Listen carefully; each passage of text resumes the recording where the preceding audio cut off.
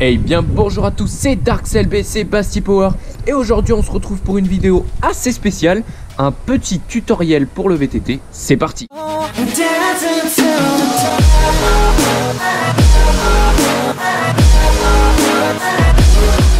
Donc avant de commencer la manipulation, il vous faudra vous munir de gants ainsi que du pack euh, SRAM avec les deux seringues ainsi que l'embout Bleeding Edge et euh, un liquide de, purge de frein euh, SRAM DOT.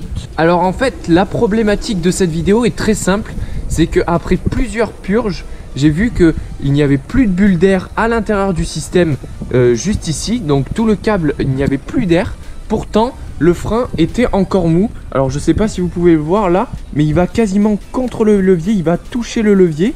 Alors c'est pas un problème de réglage, il n'y avait pas un problème d'huile, euh, il n'y avait pas un problème de fuite, il n'y avait pas un problème d'air.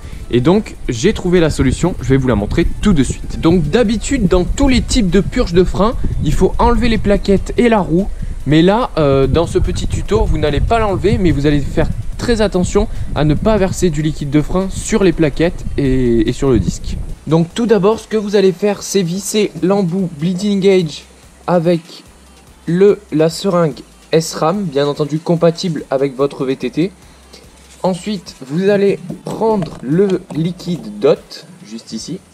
Donc vous allez en prendre euh, à peu près une moitié de seringue, je dirais, maximum. Mais l'important, c'est pas d'en prendre beaucoup, ni, ni trop peu. Une fois que cela est fait, vous allez prendre la seringue et la tirer vers le bas pour évacuer tout le liquide qui se situe là-haut. Ensuite, vous allez reappuyer doucement pour faire remonter le liquide en le tenant bien entendu à la verticale pour que l'air soit expulsé. Hop. Là, dès que le fluide, vous, vous voyez qu'il sort un petit peu ici, c'est parfait. Là, dès que vous n'avez plus de bulle d'air, vous refermez l'outil Bleeding Gauge, comme ceci. Voilà. Et maintenant, on va passer au VTT. Donc ensuite, on se retrouve sur le VTT. Donc dans le cas d'un problème au frein avant ou au frein arrière, ça sera exactement la même chose. Vous allez enlever le petit capuchon qui se situe juste ici, là. Hop, je viens de l'enlever. Voilà. Donc là, vous le voyez à, la gauche de votre écran et on va dévisser d'un quart de tour puis le revisser très délicatement. Vous aurez besoin pour ça d'une clé Allen de 4 mm que vous allez insérer juste ici. Hop là, dévisser légèrement et revisser. Maintenant, on va brancher l'outil Bleeding Gauge comme ceci.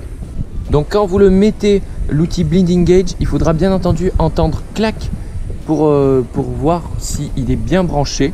Ensuite, vous allez venir dévisser d'un tour, voire deux maximum. Une fois que cela est fait, euh, vous allez délicatement enlever le blocage rouge juste ici. Alors faites très attention toujours à ne pas verser du liquide de frein euh, parce que dès que vous allez ouvrir la valve, ça va, ça va un peu fuir sur les plaquettes de frein bien entendu.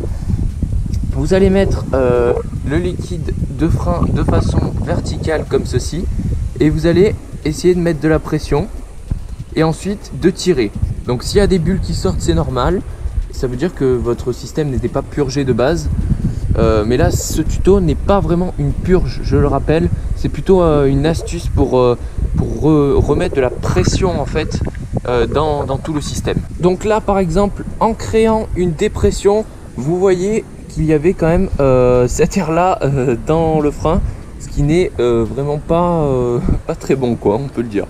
Ensuite ce que vous allez faire une fois que toutes les bulles sont parties vous allez remettre le système sous pression en appuyant légèrement comme ceci.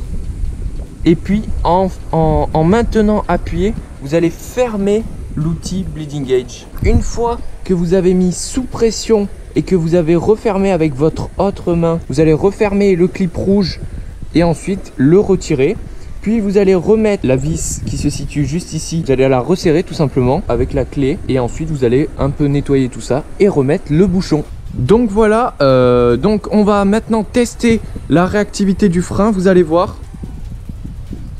Regardez, le frein, euh, donc la pression à l'intérieur a été augmentée, donc le frein ne va pas aller jusqu'au bout et donc va s'arrêter plus tôt et donc va être plus réactif, plus mordant, un frein un, frein un peu plus costaud. Euh, donc voilà, merci à tous d'avoir suivi ce petit tutoriel. J'espère que ça vous aura plu, que ça vous aura aidé.